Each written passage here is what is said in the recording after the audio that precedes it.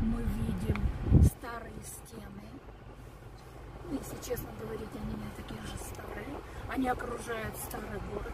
Построены они э, в 16 веке э, су- султаном Сулейманом Великолепным. Правильно я сказала? Не забыла. Слушай, выключи его ради бога. Слушай, забыла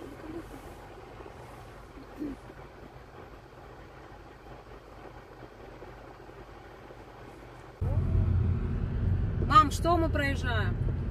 Мы проехали Мамиля, я имею в виду улицу вот эту шикарную, и теперь подъезжаем Шарьяв. Но где ты собираешься встать? Не знаю, сейчас будем разбираться. А? А вот тут я стану. За миллион денег, но нам плевать, правильно? Как? Хорошо.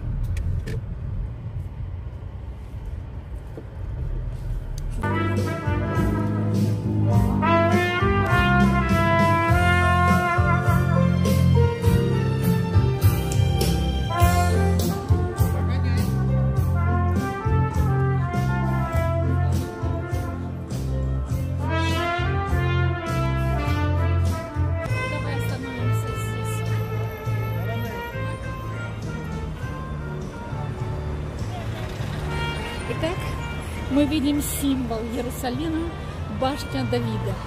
Но на самом деле здесь находится цитадель, которую построил еще в первом веке до новой эры Ирод Великий.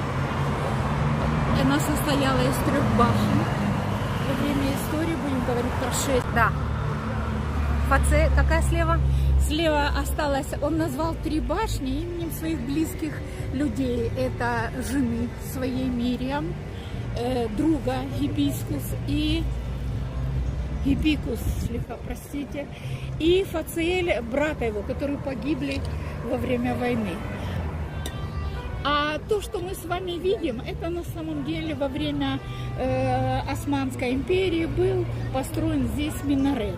Так как паломники христианские приезжали сюда, они по ошибке приняли минарет за башню Давида. Они посчитали, что э, раз здесь жил Давид, значит, это башня, с которой он наблюдал. На самом деле, э, Давид никогда здесь не жил, и Ир Давида находится совершенно в другой стороне. Так, и мы с вами сейчас находимся у Явских ворот. Мы сейчас увидим, зайдем прямо в Явские ворота. Вот самое интересное другое, что Явские ворота находятся слева.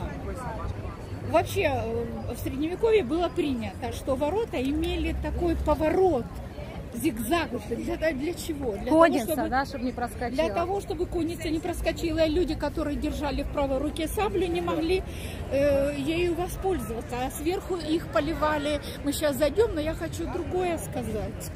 Э, э, бойницы, вы видите, бойницы, через которые лучники стреляли, а сверху их поливали горящим маслом. Ну что же вот это за дыра, через которую входят для чего ворота? Вот этой э, пролома этого не было. Этот пролом сделали турки. Когда приехал кайзер Вильгельм, они были очень дружны, и они специально для него разломали этот кусок стены для того, чтобы он проехал на своей машине. И через этот же проход уже в 17 году э, генерал Алемби, который захватил Иерусалим, вошел сюда в город, притом уважая э, святые места пешком. Пройдем через ворота.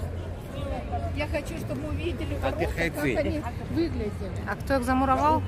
Их не замуровали. Мы зайдем. А, Зигзаг. вот так вот. А вот и Явские ворота, действительно. А ради Кайзера проломили стену, да? Да, ради Кайзера, конечно. Он хотел проехать дальше. Вот такой вид имеют ворота. Обрати внимание, что полы оригинальные.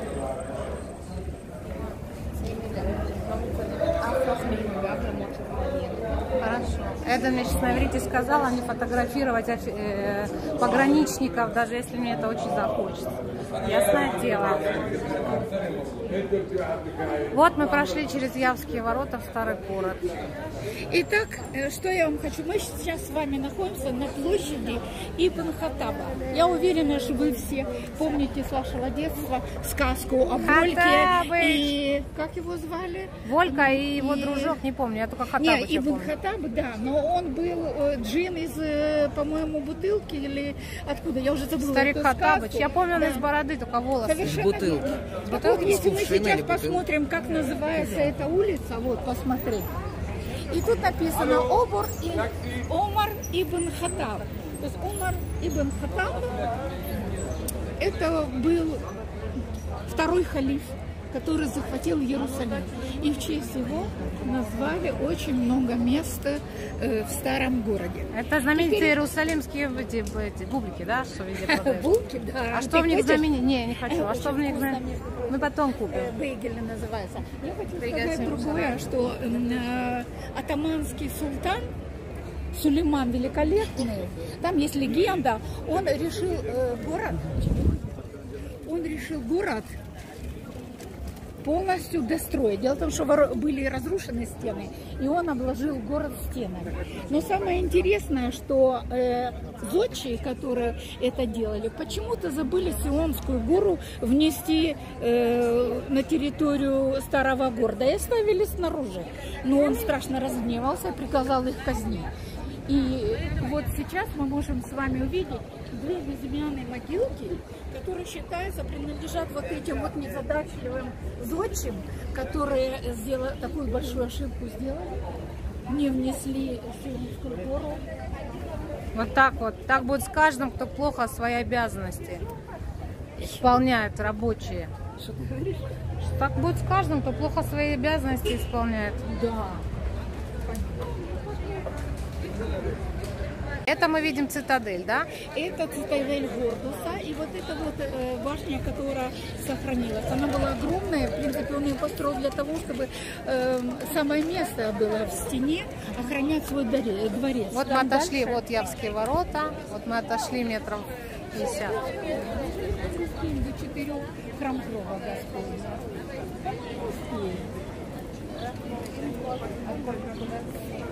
Давайте сначала все-таки по христианским местам, потом по еврейским. Вот направо еврейский, то есть еврейская часть, налево христианская. Значит, э, город разделен на четыре квартала. Справа находится вот в правую сторону армянский квартал, чуть ниже примыкает к стене плача еврейский квартал.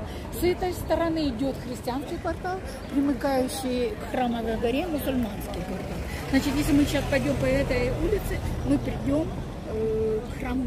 Пошли туда, да.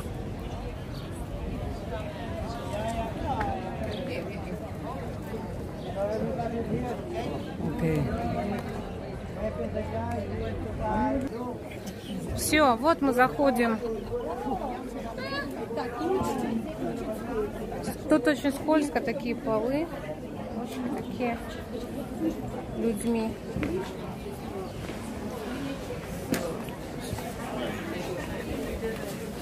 Так, до того, как мы попадем в храм гроба Господня, я бы хотела свечи купить девчонкам, попросили меня. Девочки, не обижайтесь, я куплю маленькие не потому, что мне жалко денег, а потому что я посылку не смогу запихать. Вот, пожалуй, вот таких я куплю.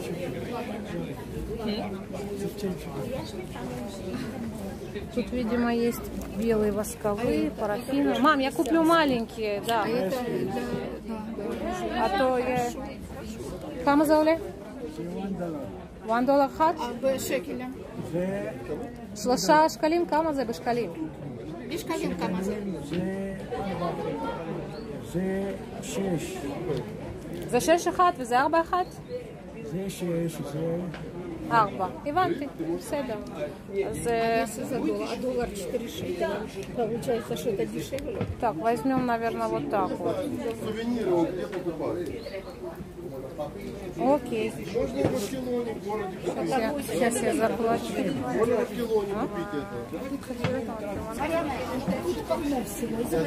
Все, пошли, пошли, а то мы не пройдем, да, вот права. Тут вообще везде вот всего навалом. Вон всякого разного. Это мы идем к храму гроба Господня. Да. Хорошо, вот мы сейчас на пути к э, храму Груба Господня. Он был разрушен несколько раз. И каждый раз мечеть Амария, Амара, так называют, была Мечеть Амара. построена именно на ступеньках храма Гроба Господня. Почему? Потому что халиф Амар молился там. И вот сейчас мы увидим как раз небольшую мечеть Мария, которая находится буквально на входе в храм Гроба Господня. Вот, видишь? Посмотри, написано «Оф Омар».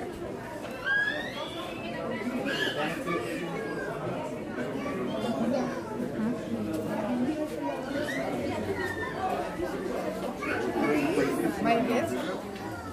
Это ты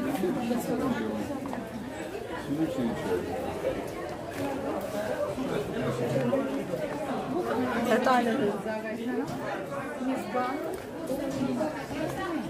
Будем раскладывать серебро. Что-то народу тут прибавилось за те надо было 10 ноги лет, которые я... У меня они в коробке все. Значит, коробку положишь. Что-то это, народу как-то... А что так много-то? Так, мы где? Давай, уточняй. мы входим в Локация. атриум. Это двор, Атриум. внешний двор храма. Да, я подозреваю, что все свое серебро разложить я не особо смогу. Я возьму, положу все в коробках. Девчонки, не обижайтесь. Но это, походу, будет сейчас... Когда-то э, вот, э, церковь Гроба Господня построена Константином Великим в IV веке. Была в два раза больше, чем она сейчас. Дело в том, что ее разрушают многие. Вот сейчас вот мы можем даже увидеть колонны, которые стояли здесь. Видишь, все это разрушено. А, вот, да. Вот я хочу сейчас отсюда сказать кое-каких слов интересных. Значит, ее достраивали крестоносцы. Притом, обратите внимание, за этого крестоносцев потом изгнали. Настолько э, православные ненавидели крестоносцев, что они повыкидывали э, здесь похоронены и э, короля, короли Иерусалима. Готрид, Гульонский и э. Их всех повыбрасывали. Вот эти вот колонны строили они, крестоносцы. Но здесь интересно, здесь есть чудо одной из колонн. Какое чудо? Значит, греки, не греки, а армяне, решили из-под заплатив э, деньги мусульманам, извлечь благодатный огонь, потому что э, церковь была закрыта. Они что? Они зашли в церковь и заперлись. Естественно, другие православные греки не могли сюда зайти. И Сафроний, один патриарх, стоял здесь и молился. Они молились, и тогда произошло чудо. Одна из колонн, средняя, вот с левой стороны, разломалась. Из нее э, грянул гром, вышел благодатный огонь, и он зажег свечи. А где эта колонна еще? А мы сейчас туда зайдем, А, мы поэтому я, зайдем, я говорю отсюда, потому что э, Сейчас там палку длин- длиннее, Потом видимо. такой, Ага. был, был ремонт. Видите, эта лестница была где-то в 19 веке поставлена. Был ремонт. Но в связи с тем, что все конфессии дрались между собой, имеется в виду и, и католические, и греки, и армяне, и эти самые копты, в конце концов они пришли к статус-кво и решили ничего не трогать, так как есть. И в связи с тем, что ничего не трогать, Даже лестницу не убрали, они да? лестницу не убрали. Он за несколько, будем говорить, э, за такое большое время лестница должна была сгнить, поэтому каждый раз, когда она портится, они ставят новую. Новую лестницу, я поняла. А между прочим, крестоносцы, вот это Голгофа. Вот это Голгофа. При Константине она была открыта. Крестоносцы построили вход на Голгофу. Но когда их выгнали, естественно, православные ненавидят, то они сделали вход на Голгофу изнутри. Ага. Значит, в этот предел снятия одежды мы не можем зайти. Понятно. Ну что, двинемся? Двинемся, пошли. Смотри, я Ты попробую можешь сама поймать. потом сказать. Эта колокольня была землетрясение, и она имеет усеченный вид, потому что она развалилась Да, и достроили, поэтому и она кажется маленькая. Три этажа сделали. Короче, тут сумасшедший дом. Конечно же, если Посмотрите, честно, закупченные стены, пожары были. Да, пожар. Только не вынесла.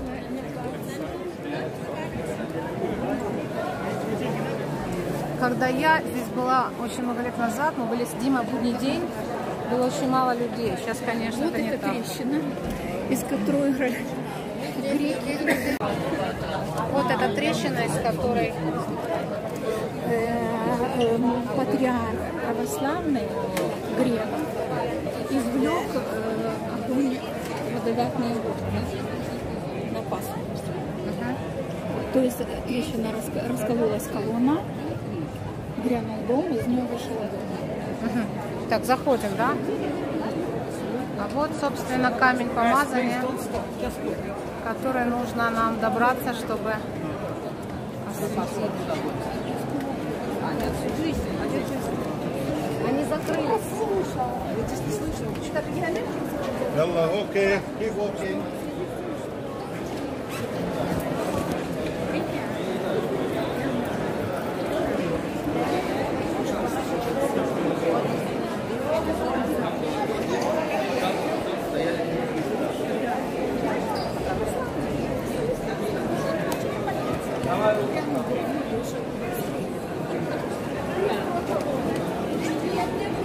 Вот нам нужно это место сейчас.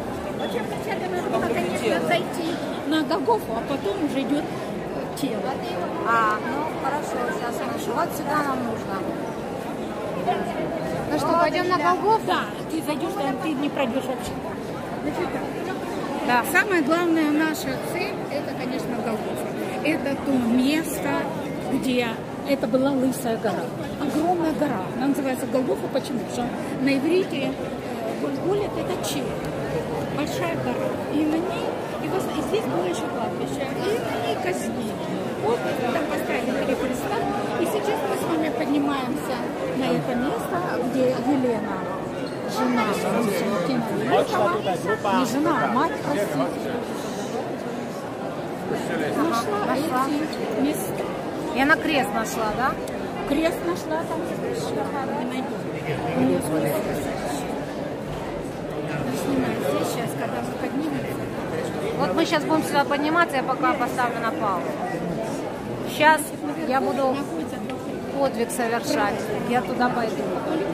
Правая сторона католикам, а где православные? Левая православная. Самое интересное, что надо... Пошли, да, поднимемся? Там мозаика, Это очень сделали на деньги Муссолини. И была даже надпись. Я ее стёгла мозаика на деньги.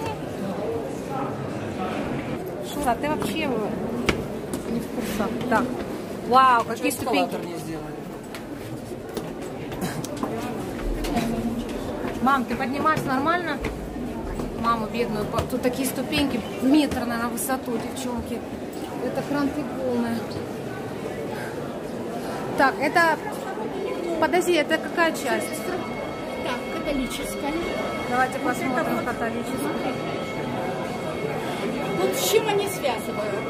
Смотри, Авраам решил принести в жертву Ицхака. Да? Но Давай ангел отойдем. его остановил. Ты видишь? Ангел его остановил. И здесь получается, что Иисус, он принес сам себе в жертву. Искупительная жертва. Это была искупительная жертва, и это искупительная жертва. В этом заключается религия. Вот тут, вот тут, его прибивают к кресту. Католический предел. И тут, обрати внимание,